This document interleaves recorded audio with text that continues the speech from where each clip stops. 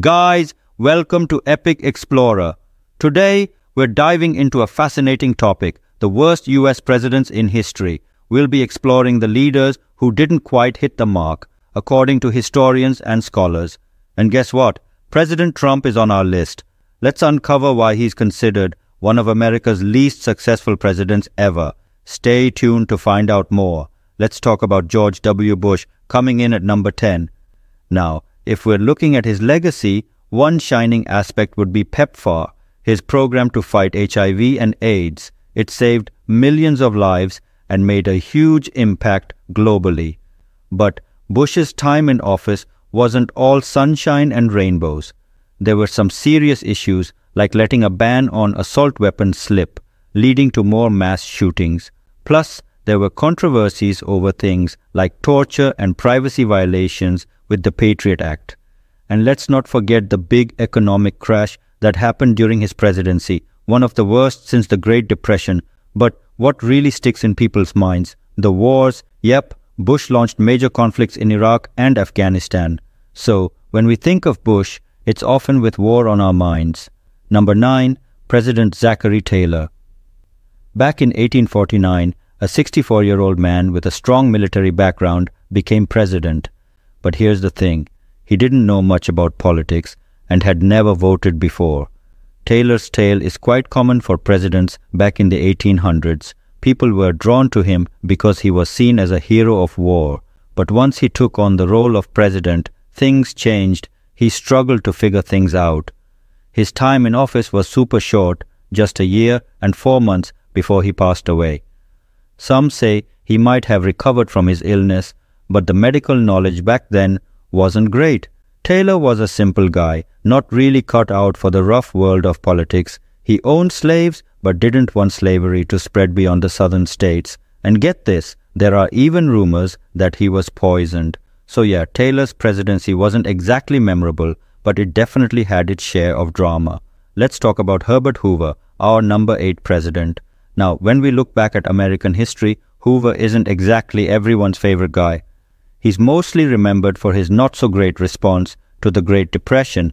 Instead of focusing on helping people, he thought tariffs on trade would fix things, but that just made things worse, with other countries hitting back with their own tariffs. The trade war didn't do much to help everyday Americans, and neither did his tax cuts. Plus, Hoover wasn't the best at communicating with people. When the Depression hit, things went downhill fast, with unemployment skyrocketing People were really suffering, and Hoover's conservative approach didn't help. So, they kicked him out and brought in Franklin Roosevelt, who had some big ideas for fixing things. Roosevelt blamed the whole mess on Hoover and went on to become one of America's most celebrated presidents. Tough break for Hoover. It's John Tyler, our number seven president. Tyler became president unexpectedly when William Henry Harrison passed away just a month into his term. He earned the nickname His Accidency because he was the first vice president to become president due to the death of a president.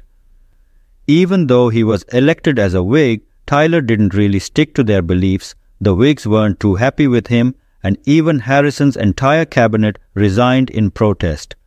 Tyler was all about states' rights and supported slavery, which didn't sit well with everyone. He vetoed some Whig proposals and they tried to kick him out of the party but couldn't. After his time in office, Tyler went on to support the Confederate side during the Civil War.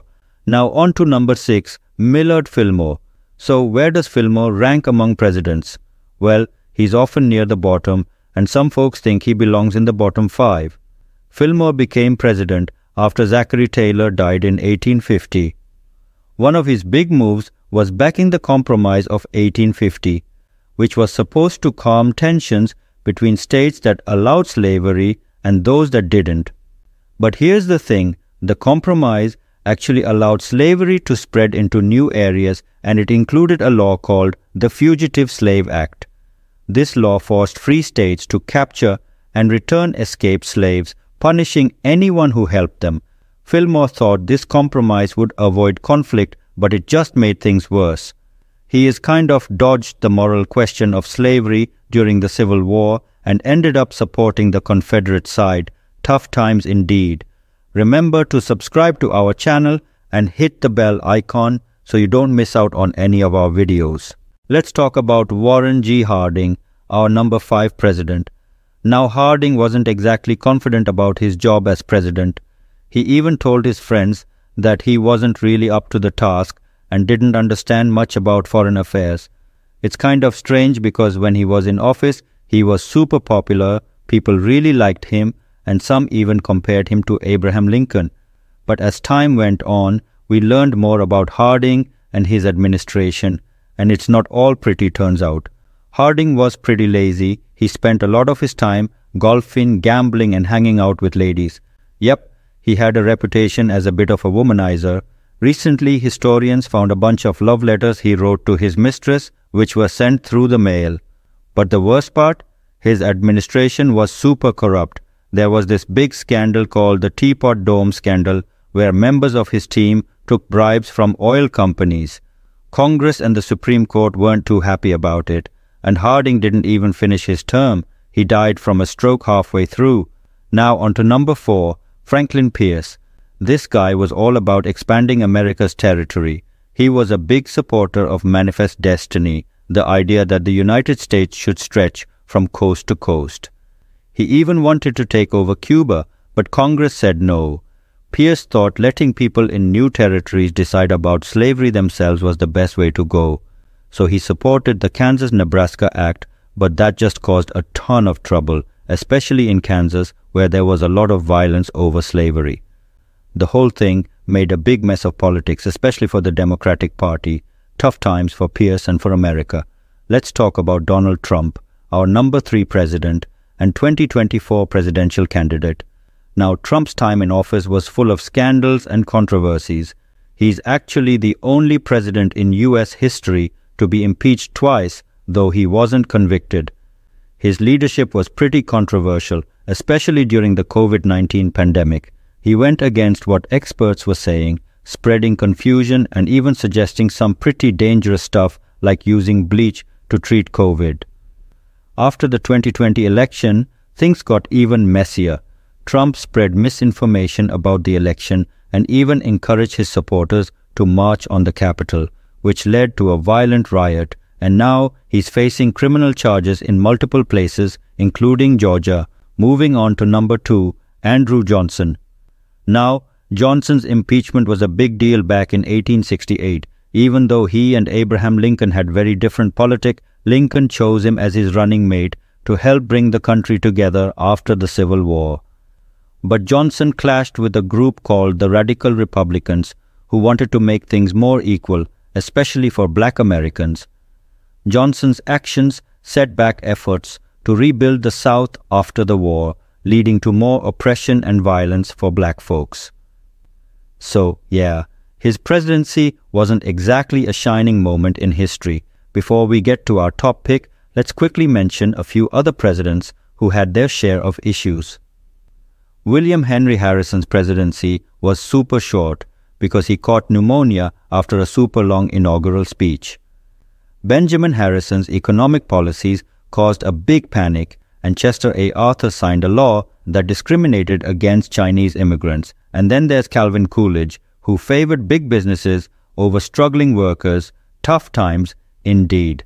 Let's talk about James Buchanan, our number one pick. Now, historians don't have much nice to say about him. He's basically at the bottom of the list. Buchanan gets the not so great honor of being the president who watched America fall apart into civil war. Even though he personally thought slavery was terrible, he didn't really do much to stop it from spreading. He just went along with whatever kept the peace, even if it meant letting slavery grow. And during his time in office, things got really tense over slavery, leading some states to want to leave the country. When Buchanan finished his presidency and went back home, he didn't do much reflecting on his time in office. He pretty much left all the mess for the next guy, Lincoln, to deal with. Buchanan didn't really do anything to stop the country from falling apart, and that's why he's at the bottom of the list. So, those are our picks for the worst presidents in American history. But hey, maybe you have different ideas. If you do, feel free to share them in the comments. Please subscribe our channel